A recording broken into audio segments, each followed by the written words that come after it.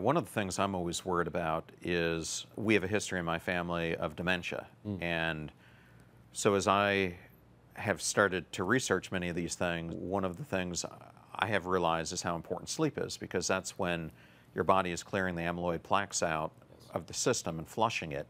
And if you keep having these recurring periods where you're not getting those deep cycles in, mm-hmm. it can exasperate your chances, from what I've studied, of having things like that happen. Is that a 100%. Okay. Yeah, no, that's absolutely correct.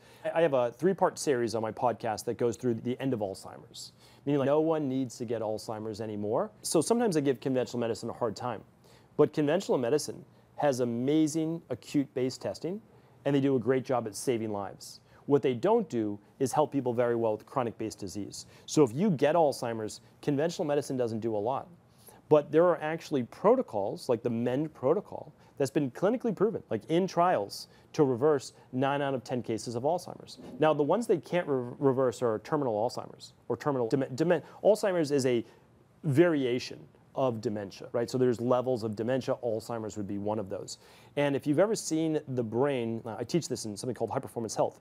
If you've seen the brain of someone with terminal Alzheimer's, there's holes in the brain natural medicine, conventional medicine, we don't know how to repair that. So when you get to that state, unfortunately, you have holes in the brain. Now, here's the amazing thing, and I now recommend this to anyone that's able to. It's not fully accessible, I totally understand that.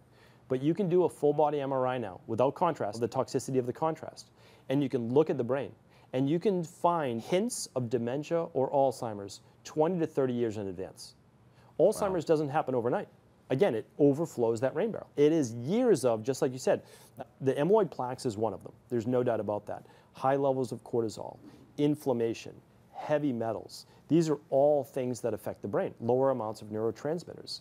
And so our job is to test and give yourself on a yearly basis a clean bill of health. Yeah, I'm good. Now you don't have to worry about that because, yeah, my family as well. Unfortunately, one of my grandfathers had Alzheimer's. Um, on my wife's side, her grandfather had Alzheimer's. Uh, and you look at a specific allele that you have in your body, which tells you are you more prone to it. Even if you're more prone to it, it doesn't mean that you have to have it.